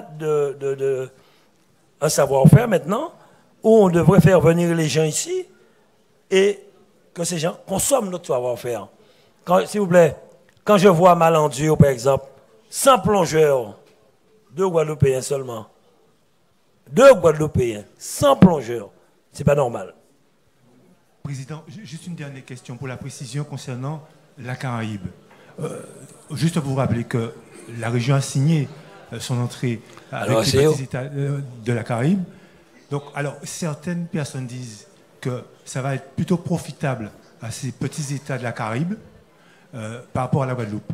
Est-ce que vous pouvez aujourd'hui nous préciser, nous affirmer aussi euh, quelles seront les relations ou quel, est l'intérêt euh, d'être dans cette organisation Je commence Mme Pancha va passer Pancha. Aujourd'hui, je sais qu'ils ont beaucoup besoin de nous, c'est vrai. Besoin de nous, parce que je sais qu'ils ont des difficultés au niveau de l'Europe, que nous soyons en relais. Mais comme je le dis, et je parle sous couvert de M. Fischer que j'ai vu dans la salle, on a mis en place un cyclotron on a vu la plupart des chefs d'État de la Caraïbe, ça les intéresse de venir ici, payer pour des analyses ici, que de partir à New York ou en Angleterre. Pour nos jeunes, ce sera plus facile aussi, parce que vous ne le voyez pas, je reçois tous les jours des dizaines de courriers pour une demande d'accompagnement, pour des séjours linguistiques, pour que nos jeunes puissent aller euh, dans les États de la Caraïbe. En matière aussi de, de commerce, ça nous permettra de pouvoir, surtout qu'on dit souvent qu'on a du chlordécone chez nous, on nous dit de ne pas manger nos aliments, mais là, ce serait plus simple maintenant de pouvoir discuter avec tel ou tel chef d'État pour dire, bon, euh, il faudrait maintenant contrôler les aliments qui sont de l'extérieur, qui rentrent chez nous. Donc maintenant, c'est à nous de continuer et je crois que c'est bien parti. marie tu voulais dire un mot là-dessus? Oui, je voudrais euh, intervenir, Président, effectivement, parce que je crois que si vous voulez vraiment, de grâce, je vous en supplie, ne parlez pas de la Caraïbe comme vous venez de parler. Parce que jamais on pourra avoir des relations avec les pays de la Caraïbe. Parce que quand on parle de la coopération, je vous entends, c'est comment développer notre marché. Déjà, faisons en sorte que nos entreprises puissent conserver le marché guadeloupéen et réduisons la part de l'importation en allant vers une société de production et je crois qu'on va régler déjà le chômage. Donc investissons d'argent le marché guadeloupéen, réglons nos problèmes d'abord chez nous et avec les pays de la Caraïbe, je crois qu'il faut les regarder avec un autre regard. Ils ont besoin de nous, le président l'a dit, en matière de santé, en matière de formation. Ils n'ont pas, parfois, les écoles de formation, notamment pour les sages-femmes, les infirmières, etc. Mais, mais, attention, ils peuvent nous apporter beaucoup de choses. Et je pense que quand on parle des pays de la Caraïbe, c'est d'abord les mettre dans une relation de confiance avec nous pour montrer que aussi nous avons besoin d'eux et notamment sur un dossier comme celui de la sargue, des sargasses, mais ne pas dire aux Guadeloupéens qu'on va faire de la coopération uniquement pour conquérir des marchés. On fait de la coopération parce que ce sont des pays voisins avec lesquels on partage beaucoup de choses en termes de culture et ils ont un savoir-faire, ils ont une culture qui peut aussi nous enrichir. Et je crois que c'est parce que pendant des années, on a été peut-être dans cette vision, cette présentation, au lieu de les avoir avec nous, on les a fait fuir. Et le président a su rétablir cette relation de confiance et je pense qu'elle est très importante, il faut la maintenir. Voilà ce que je voulais dire, président. Merci pour ton action vis-à-vis des pays de la Caraïbe. Non, c'est vrai. Non, c'est vrai que c'est vrai qu'aujourd'hui on a eu la chance de revenir. Hein. Vous allez vous discuter à deux. Comme ça, ça sera, ça, sera pour toi un bon article. je te propose de l'interviewer là-dessus parce que elle a fait un très beau travail. Je vous le dis des fois. Euh, moi, je, n'ai pas à cacher. Hein. Souvent, je le dis, mes collaborateurs me tiennent. Sinon, il y a était explosé en Guadeloupe. Nous avons été c'est au Carifesta qu'on a vu le. C'est pas, c'est pas Carifesta. Non, la première réunion qu'on a eue à. non, on a eu la réunion dans le stade, c'est Carifesta. on a rencontré les directeurs. Tu étais là. c'était les 30, c'était les 30 ans, 39 ans. Le directeur là, comment s'appelle, monsieur, je sais pas comment il s'appelle. Euh, Didacus. C'est quelqu'un qu'on connaissait, qui vient souvent en Guadeloupe, qui nous a dit Je vous ai trouvé un créneau avec Didacus, mais c'est dans les vestiaires qu'il va vous recevoir. Oui, Marie, dans les vestiaires. Et Didacus parle, parle créole, chers amis. La madame nous a dit, ne nous fait pas vrai la Guadeloupe, même on a été méprisé, insulté. Ça, on peut demander ça, il vient là ici souvent. Alors qu'est-ce que j'ai fait? Étant donné que j'ai beaucoup de, Dieu me donne la possibilité de réfléchir, de trouver des solutions. On dit, on va en discuter. Ben, j'ai deux femmes, Pirin et Marilus. Comme la manière quand tu parleras à un homme, tu parleras pas à une femme, eh bien, ça a marché. Ils sont revenus. Non, il faut le dire. Je n'ai jamais été après, oui ou non? Je n'ai jamais été. Le gars a été remonté parce qu'ils ont été insultés. Ils nous l'ont dit dans le stade. non, il est parti. C'est passé l'année qu'il était là dans le stade, dans les vestiaires, en cas de galère, nous recevoir, nous directement le recevoir. Parce qu'il ne voulait pas nous recevoir. Mais c'est son ami qui s'occupe du stade de, cricket qui a pu nous trouver un créneau qui s'est parti comme cela. Voilà. Donc elle va te dire, et par la suite, voilà. Monsieur le Président, je propose qu'on ait une question du public et après euh, terminer. s'il y a plusieurs questions du public. Oui, Président, euh, merci euh, de, ton allocution. Je voudrais simplement, au nom des entreprises, essayer de, clarifier un certain nombre de choses, notamment euh, avec nos relations avec les États de la Caraïbe. Bon, vous savez tous qu'on est un pays très fort importateur et qu'on importe massivement de la France métropolitaine. La question qu'on pourrait se poser, simplement, c'est pourquoi on ne conduit pas plus d'échanges avec les pays de la Caraïbe? Est-ce une question euh, de barrières, de prix, de transport, euh, de normes? Et ça, c'est une vraie question parce que euh, on a de la proximité. Ça vient de moins loin. On pourrait se dire que ça peut être intéressant. Or, si vous regardez bien, et chacun d'entre vous, vous le savez, 90% de, nos importations viennent de la France métropolitaine. La deuxième chose, si vous voulez, c'est que les investisseurs, les entrepreneurs, eux n'ont pas cette problématique de barrière. Beaucoup d'entre nous, euh, quand on va dans un État de la Caraïbe, on s'associe avec euh, des Caribéens. Euh, quand ils viennent ici, ils cherchent à s'associer avec nous sur certains projets. Donc nous avons déjà fait cet effort de collaboration. Et donc tout naturellement, un certain nombre, les entreprises ont, quitté ces barrières pour pouvoir essayer de réaliser des opérations communes. Président, euh, quand, nous avons dit ça, je voudrais revenir à l'essentiel parce que, au final, je comprends que tu souhaites que euh, tout soit positivé, mais malheureusement, notre manière de fonctionner nous ramène toujours au solde de nos problèmes. Et euh, quand une entreprise n'est pas payée et qu'elle ne peut pas payer ses salaires alors qu'elle a elle a tout simplement réalisé le service. Elle se dit comment je vais terminer la fin du mois? Et mon, souci aujourd'hui, et je dois te le faire partager, c'est que j'ai l'impression qu'on ne pourra pas s'en sortir seul compte tenu du niveau d'endettement des communes. Bien sûr, tu les aides. Il y a encore deux collectivités majeures qui ont, euh, le département et la région, quelques capacités d'autofinancement à côté des communes.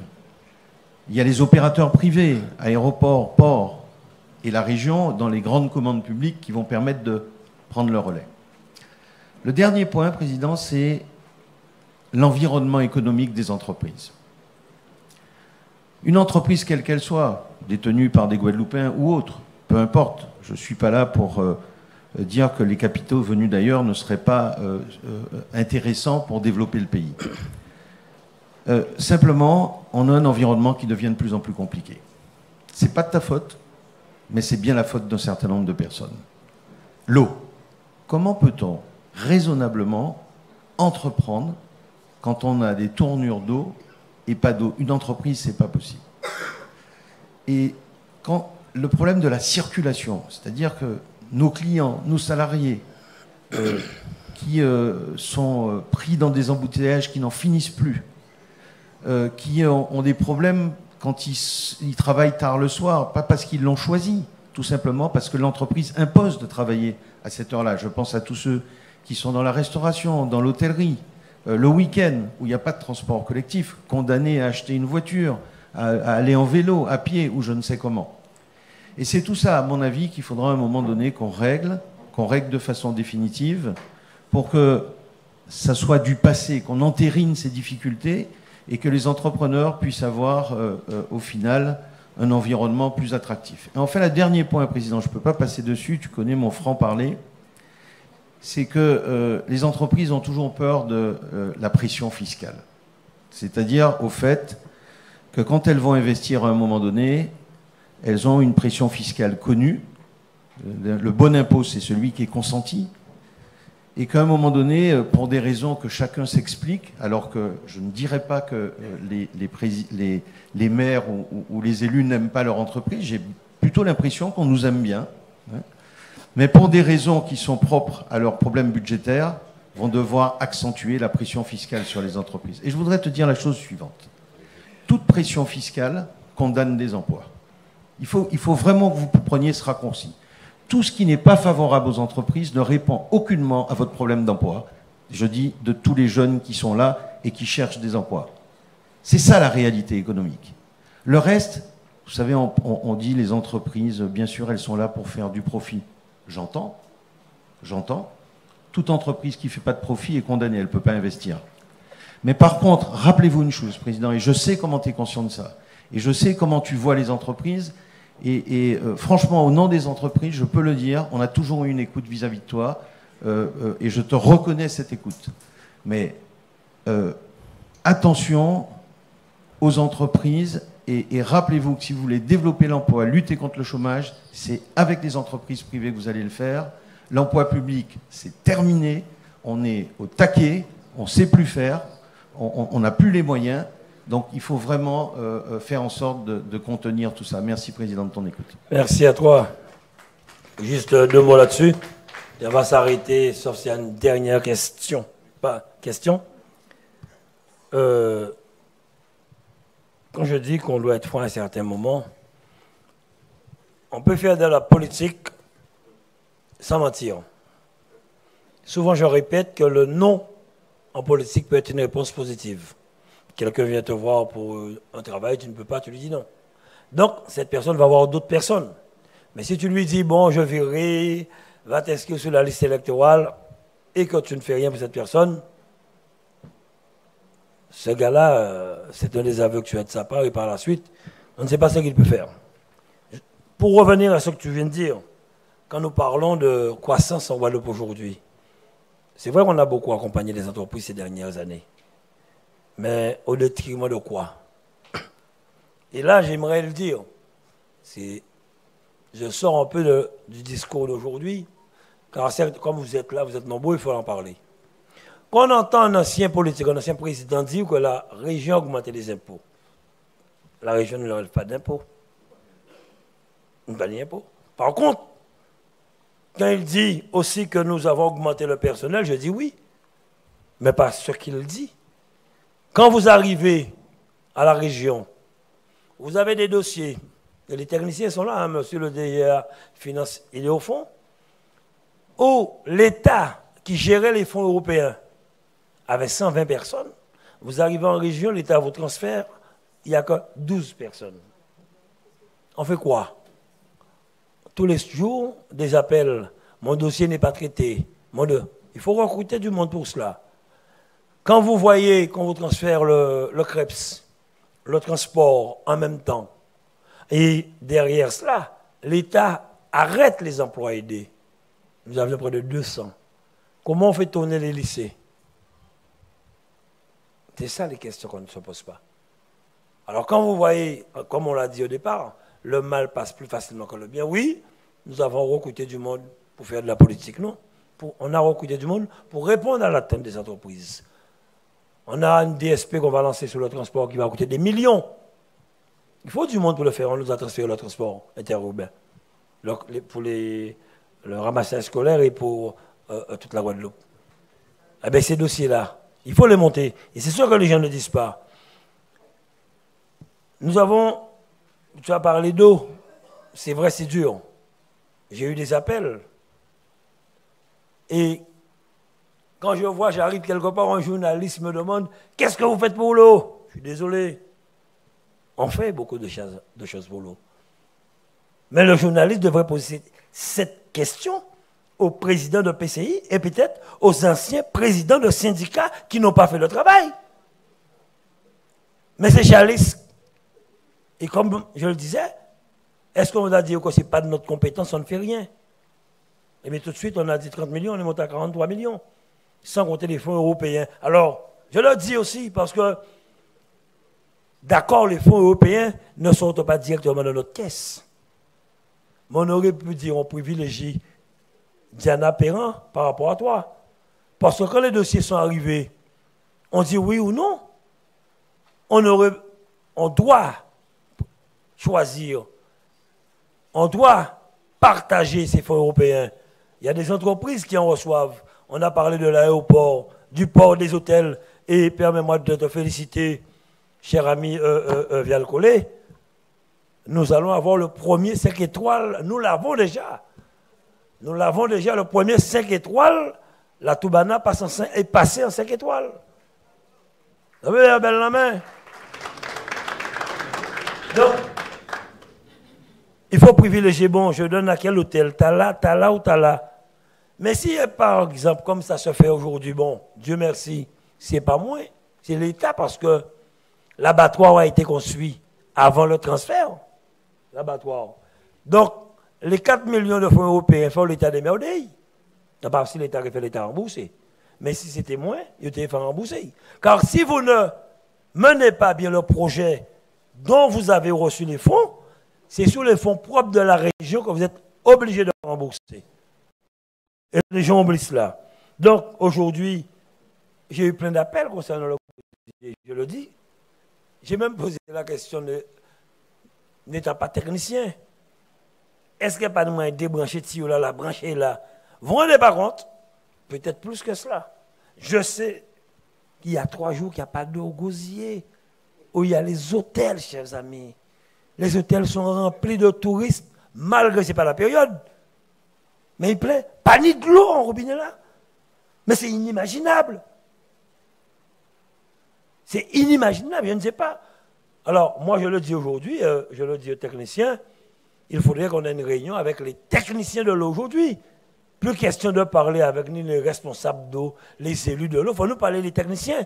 Pour dire, nous, si nous faisons ça, si nous débranchons là, nous pouvons passer là de l'eau. Ne me dites pas que même s'il y a des taux d'eau, il n'y a pas une solution pour soulager les gens. Si imagine, là, nous sommes en train de tuer notre tourisme actuellement en Guadeloupe. Non Non voulu aujourd'hui faire cette réunion ici, parce que c'est pareil qu'on a su que l'hôtel Saint-Georges, seul hôtel sur la Bastille est fermé. On s'est dit, on ne peut pas. On ne peut pas laisser ouvrir Saint-Georges. Donc pour nous, tout ça rentre encore dans le rééquilibrage du territoire. Et si Dieu veut, l'année prochaine, je pourrais vous recevoir dans, je ne sais pas encore, on est en train de chercher un nom, mais l'une des plus belles résidences qu'il y aura sur Saint-Claude hein, pour la Guadeloupe ce sera la résidence régionale, mais pas résidence régionale Québec, où vous pourrez vous garer à l'intérieur, une salle qui va contenir 400 places assises et 600 700 debout. C'est juste une maison, c'est juste une maison de la région que j'ai trouvée, où on m'a dit que par, le passé c'était la maison du DGS, avec une, cuisine superbe équipée. Je n'ai jamais vu ça, même dans le 16e à Paris. Alors j'ai décidé, quand vous montez, vous avez vu les panneaux, résidence pour la Guadeloupe, pour les Guadeloupéens. Donc quand il y aura de grandes manifestations d'envergure, gratuites, ce sera à la disposition des Guadeloupéens. Médaille de Légion d'honneur. Pas pour mon fait, je le dis, pont déjeuner champêtre Voilà.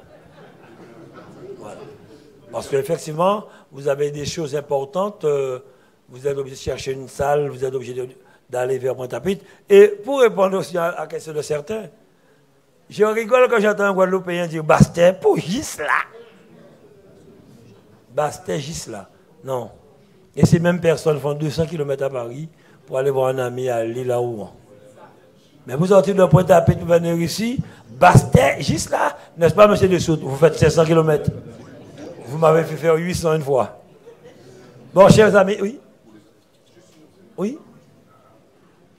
Je laisse... Euh, je vous remercie, vraiment, merci. Alors, je voulais vous dire, je voulais vous dire, je le répète, je le dis de tout mon cœur. Peut-être que certains ne comprendront pas. Je voudrais que vous puissiez comprendre cela. Je suis plutôt à la sortie politique que de rester en politique. Non, non, je le dis. Je suis retraité de IF le 1er juillet, a fait deux ans. Je suis bien. J'apporte ma contribution à la Guadeloupe. Je veux servir la Guadeloupe. Je n'ai besoin de rien. Je ne peux plus aller au football. Je ne peux plus aller au sport comme avant. Je ne vois plus ma famille comme avant parce que je me donne. Je déjeune tous les jours à 23h, 1h du matin. Je n'ai besoin de rien. Je suis là pour travailler pour la Guadeloupe. Alors je le dis, mettez-vous en tête que je dis quelque chose, ça un qui Pas en bouche, J'apporte ma contribution. En pas bien politique. Si c'est pour moi, racher chibier, moi non, ça peut arriver. Moi. Sachez-le. N'ayez pas peur de me dire quoi que ce soit, quelle que soit la chose. Je prends tout. Je vais réfléchir, est-ce que c'est bon pour moi Est-ce que c'est pas bon? Je ne me fâche pas. Tu me fais pas en pas fâcher, mon. C'est un problème à. Vous me dites quelque chose, je sais que j'ai raison à 1000%. Vous testez avec moi, la deuxième fois, je vous dire, ah, mais c'est vrai, mais tu as raison, il n'y a pas vu ça comme ça. Pour finir avec ça. Je suis bien, chers amis. Je suis là pour aider la Guadeloupe. Sachez que je ne suis pas là pour faire de la politique politicienne. C'est ce que à vous dire. Merci beaucoup, Monsieur le Président. En tout cas, merci de l'attention particulière que vous avez euh, donc apportée eh bien, lors de euh, ce discours de l'archipel. Je remercie en tout cas nos amis de la presse pour les questions pertinentes et également euh, tous ceux qui ont osé poser une question. Alors, nous allons saluer donc en tout cas tous les maires qui sont avec nous. Merci d'avoir fait le déplacement, particulièrement le maire de, Saint-Claude, Elie Califère, qui nous a reçus ici même à Saint-Claude. Et chers amis, nous vous invitons tout simplement à prendre avec nous une collation. Je vous souhaite une excellente journée. Merci.